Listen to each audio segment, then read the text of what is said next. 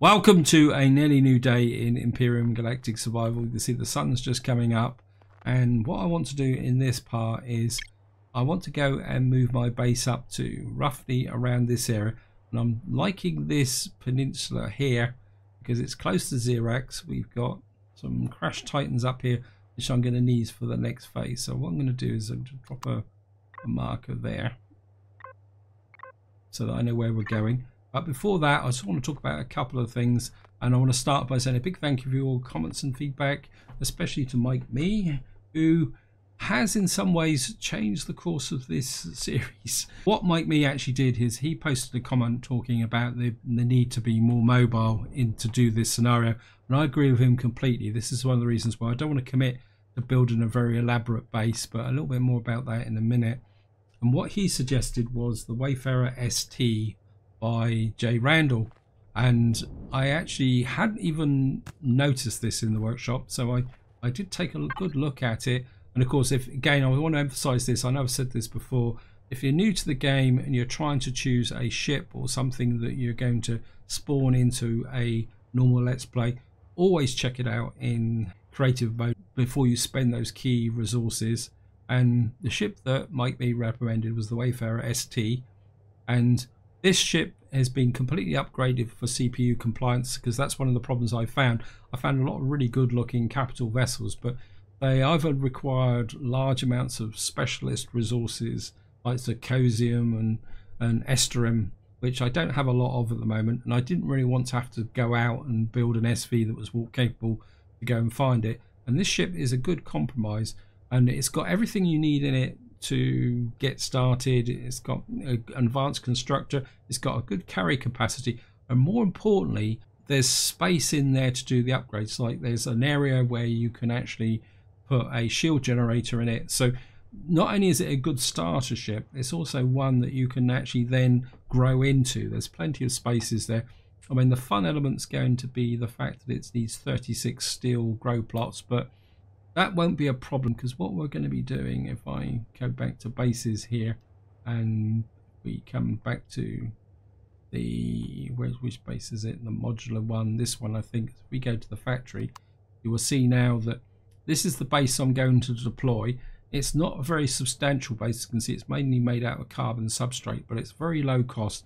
It means I don't have to spend any of my key resources on getting it set up and so this is the one we're going to go for and you can see the production time is one second. The reason for that is that most of the what I've dropped into here has been components. And again if anyone is new to the game if you put ingots in you you get the full production time. If you start put components in every component reduces your production time. So there's a lot to be said for just dropping in as many components and going around and looting. We're just going to kick that off there.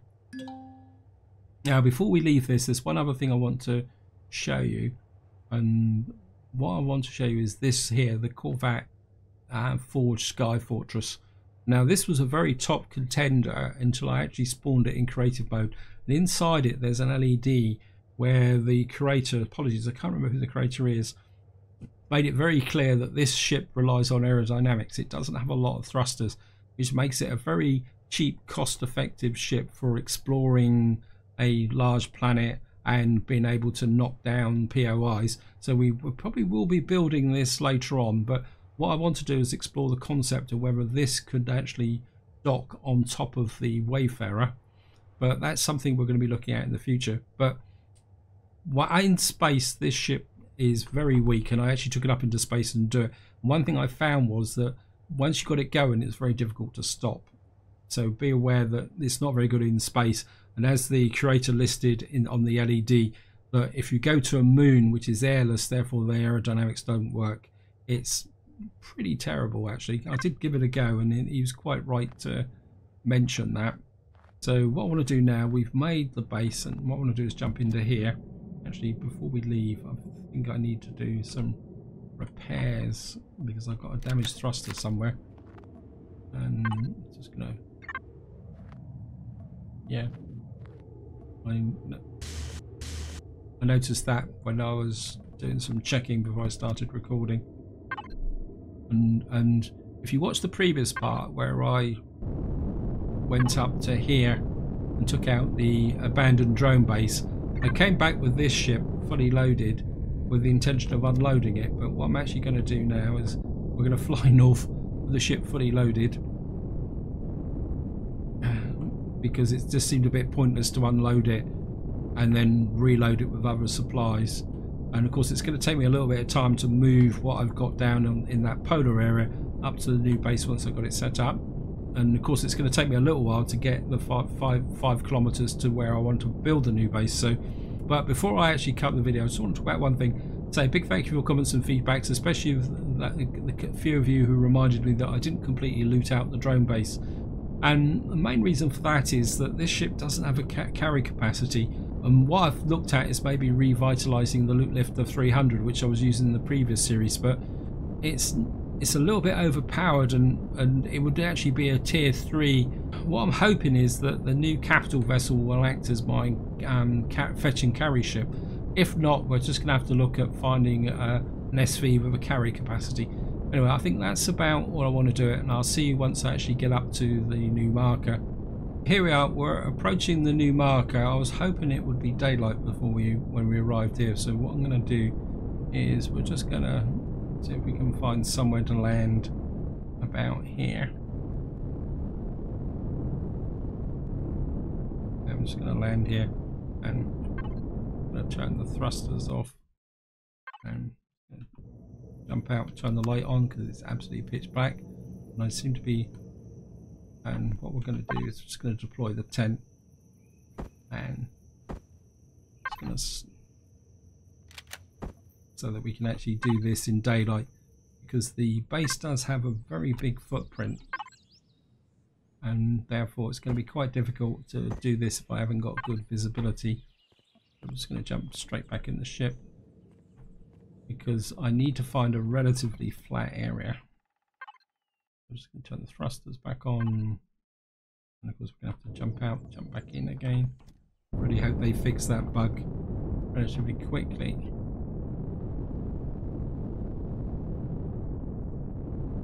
Um,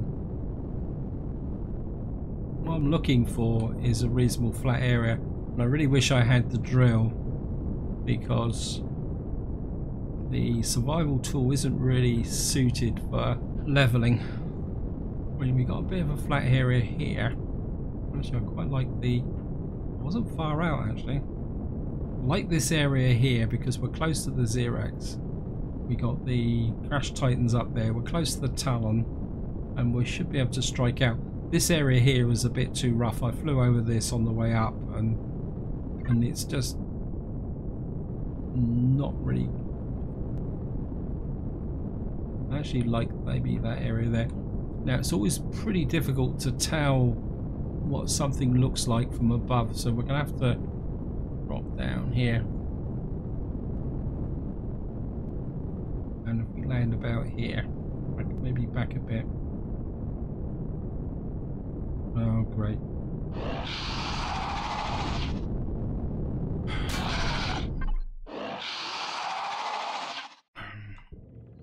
boys you are, if you're going to be hanging around here, I'm going to have to, where are you? Wait.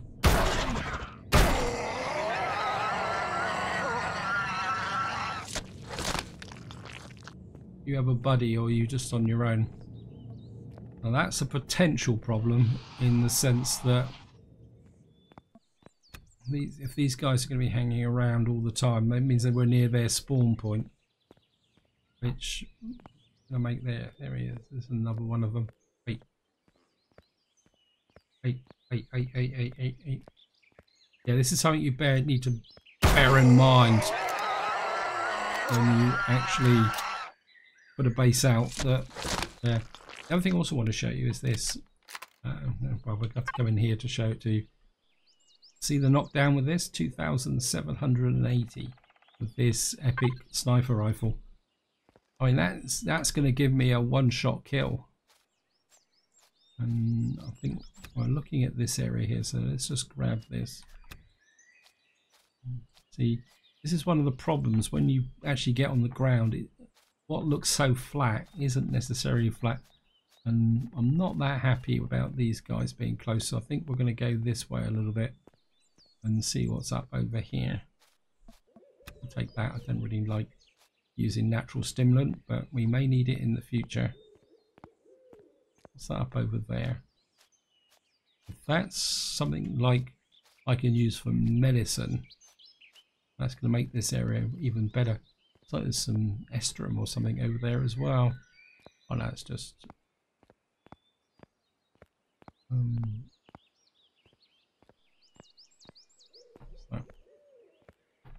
it's just, whoops.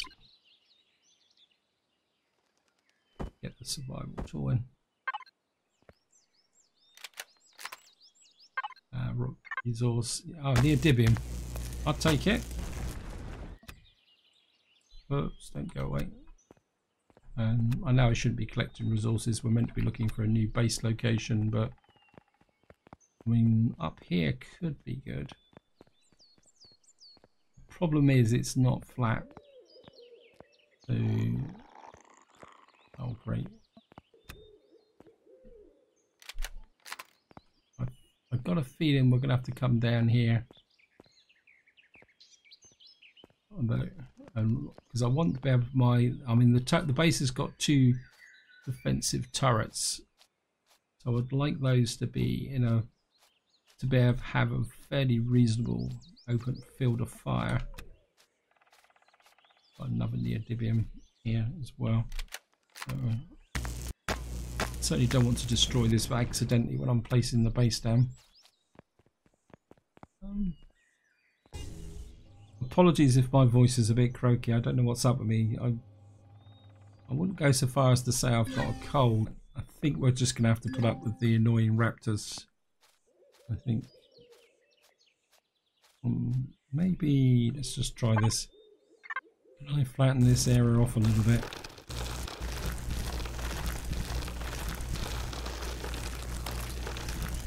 So this isn't the best tool for this. Let's see what we can do with the, the ground here. Okay, I suppose there's only one way I'm going to find out, and that is to...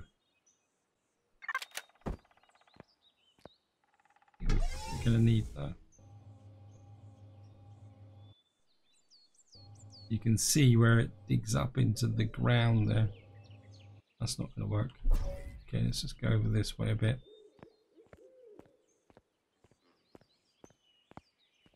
I think we're just going to have to try and put it over here. So maybe my first choice is probably the better location.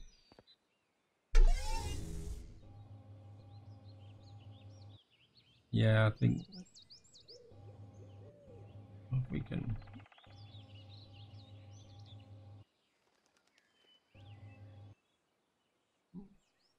it's going to be a bit high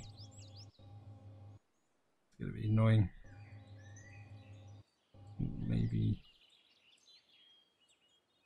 I don't really want in some ways I'd rather have it slightly high but there's always a risk that the ground will come up through the base. I think that's about the best we're going to get so I suppose we better now have a little bit of a tour just to see if it's that side's okay I can see daylight underneath the base, that's good. Now you can see this base is not particularly very strong because it's got that there. Okay. Now we're going to have incursions from these Yozos. Oops.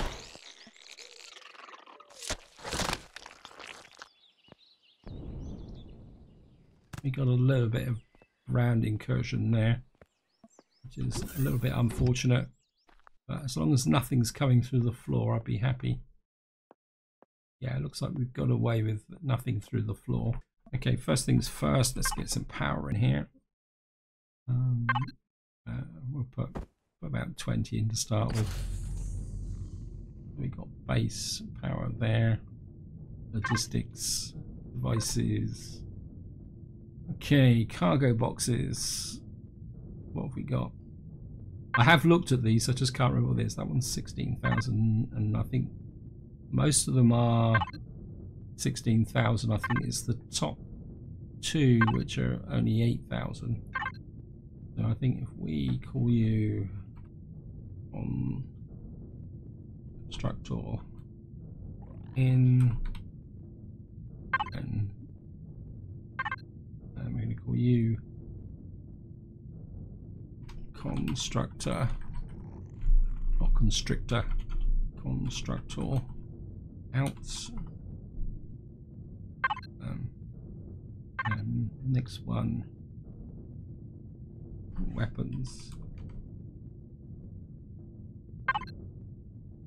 And call you, you. Base supplies. Now I'm a little bit worried about having some rare resources in here. Okay logistics. Right I think that's it. Uh, constructor we need to connect this stuff up. I'm going to put constructor in here more importantly at the moment I want ammo box here because we need to make some 30 millimeters. So we need steel plates and nitrocellulose where's my ship? Is it in range? It says it's 59 meters away. Oh it's in range so that's good. Uh, modular outpost. The structure in only want the steel plates, nitrocellulose. Get that in there. And let's get What's that? Okay, it's that. it's got the wrong constructor. Okay, large constructor. Um, weapons. I think we're going to get get those underway straight away. And of course more importantly before it makes any ammunition where's the turrets? Uh, we're going to get rid of the don't want it killing predators I don't want it wasting ammunition on that. Right next thing. Got a food processor here. And we need to hook that up to the fridge so that we can make things and again there's just modular output fridge what I'm going to do is pull in we can pull in the ingredients we need now. Bring in about half of those um, spices put some plant fibers in. Uh, don't need the fruit drinks. Uh, I'm certainly going to put those in and I think everything else well, put the purified water in and the milk and the fire moss scrapings.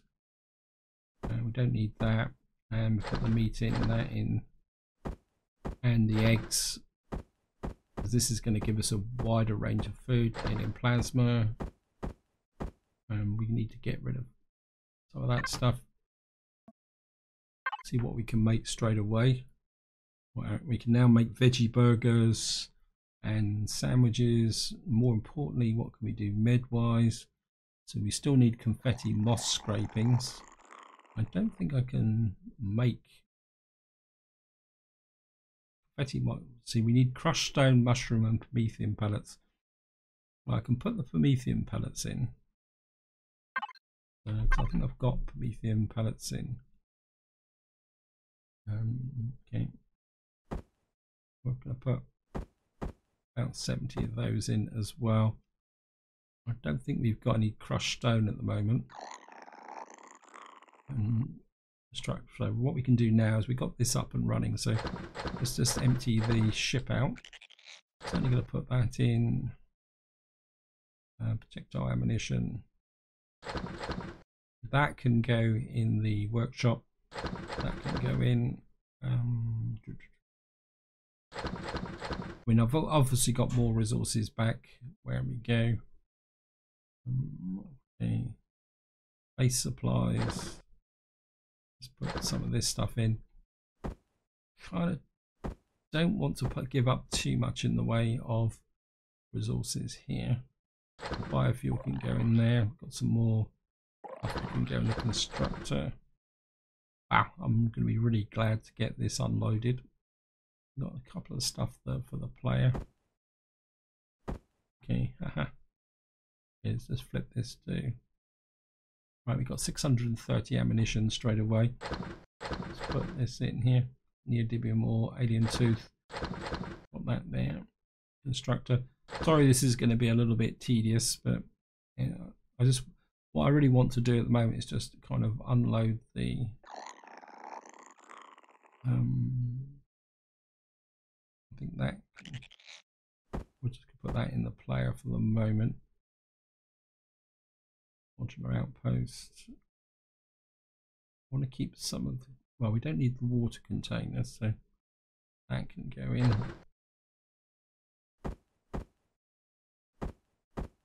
And we got that there, we got ammunition, uh, silver shade.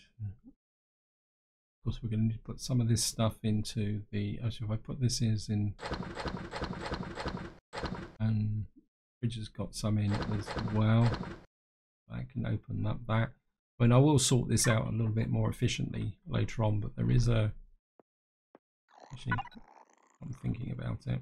I'll put this up so. So all the time we're at this base, we're going to have the the lovely sound of alien uh, insects nearby. Now there is an armor locker in this base somewhere. There is. Again, it's a little bit on the edge of the the base, so I think we'll put a jetpack boost in. Uh, I'm going to keep one of the EVAs just in case. That's the one thing I don't want to lose alongside of the area there. Oh, we got an EVA boost in there. Silver shade out. Um, silver shade. Okay, we've still got some more stuff to put into the edge. That there. I'm going to keep the armor in the silver shade. Um, structure in. We can put that in.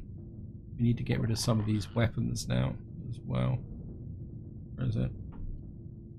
Um, I want to keep that in the silver shade. Uh, we don't need them. This can go in. I've already got a tier 2 there. Um, that needs to go in. Constructor. I want to keep that, keep that. That can go into the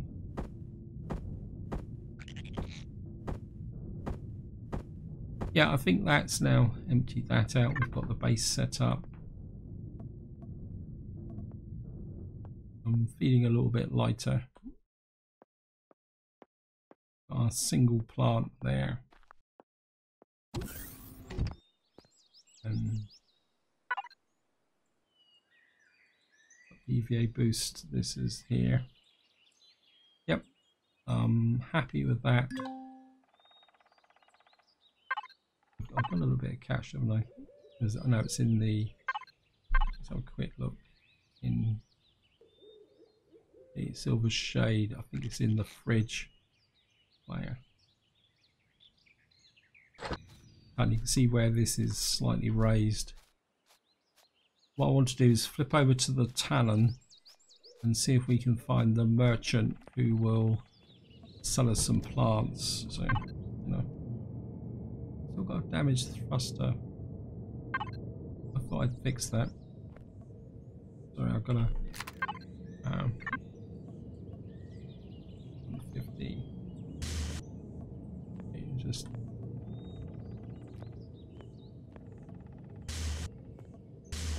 I thought I'd fixed everything. Oh, we still got that one missing from the front there.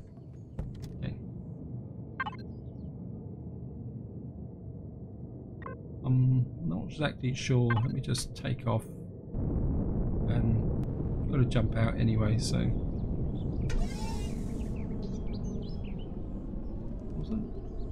Okay. I got damaged thrusters underneath.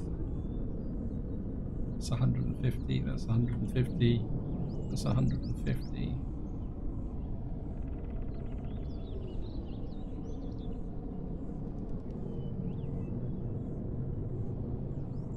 Rear thruster's a bit damaged.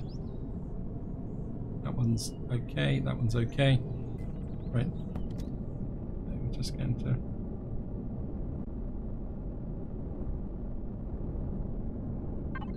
and I think what we need to end for is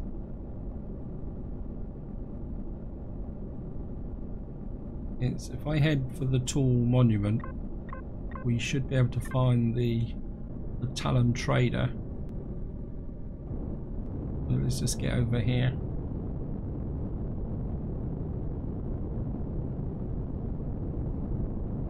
there's the monument and the settlement should be just over the back here. I'm just going to drop down.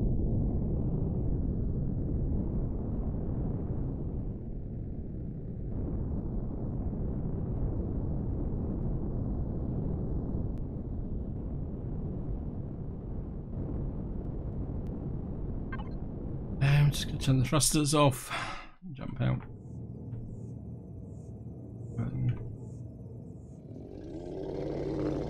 Hello guys. Um, that's the chief. This should be the trader. Um, and we got 385. Well, I mean, the alien honey plant that could be quite useful. Mushrooms, that's what I want. I want two mushrooms because that will help me make medicine, space or aloe vera, big alien flower. When we could spice plant, eggplant, alien honey. I think I'm going to buy two alien honeys because that will allow me to make that uh, make uh, potions that can cure indigestion. Super perfing Ajax plants. Kua berries. They could be quite useful because it means we can make fruit drinks. Coffee plants. Not interested in that. Big alien flower. I'm actually going to go for. Can I get two Akua berries? Now, okay. There's only one. Okay. What does this produce? This produces herbal leaves. I think we're going to go with... That's going to give us the plants. Thank you guys. And what we're going to do now is just go back to our base and get those planted up. And that should give me the basis of some medicines and um, some better range of, uh, can you say, foods. Just going to jump out again, back in again. Um,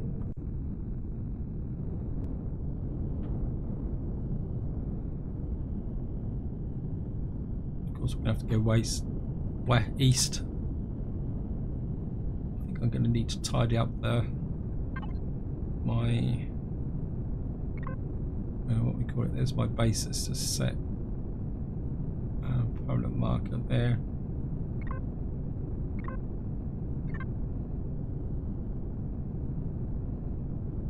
I'm just going to level off. I'm just going to fly back to the base. We are back at the base. I actually think that fits into the landscape quite well. Yeah, I'm just going to drop down. I'm not going to bother trying to land it on that pad we're, we're going to be quite happy just to park the ship outside here. Just going to turn the thrusters off. Just going to jump out. it looks like we're losing the daylight already. Now, which one of these has got the... Thank you. And of course what we're going to do is pick up. I don't think I just quite need the weapons at the moment. And we're going to get a couple of mushrooms in, the alien honey and the aloe vera. So,